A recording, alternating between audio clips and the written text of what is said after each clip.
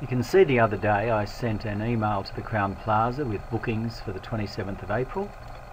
If I open that, there's the, there's the bookings that were sent to the Crowne Plaza. And I realised I made a mistake. So I wanted to then send another one. Now these two spreadsheets, I can't view them side by side. Uh, when I double click, it opens in the same spreadsheet. If you want to view two spreadsheets side by side and they open like this, simply hold the shift key down when you click Excel and it will open Excel in another window and now you can see I've got two Excel spreadsheets open.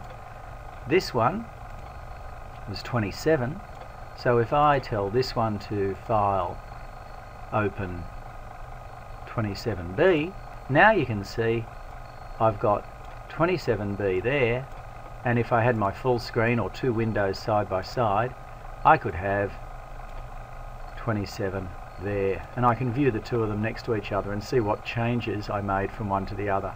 There's another way of comparing spreadsheets, we'll do that another time. But opening two spreadsheets, just hold the shift key down when you click on Excel.